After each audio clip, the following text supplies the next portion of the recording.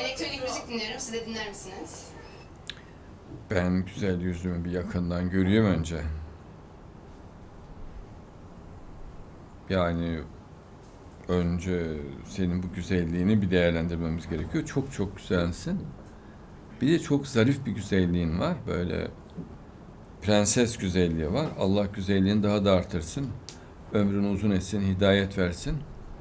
Yani nefis güzelliğin. Çok kibar ve güzel bir kızsın. Elektronik müzik hoş değişik ama hiçbir zaman için sazdan yerini tutmaz. Cümbüş, klarnet, keman, darbuka, tef yani yıkar ortalığı. Daha sazlar geldiğinde bile insan değil mi onun heyecanına kapılır.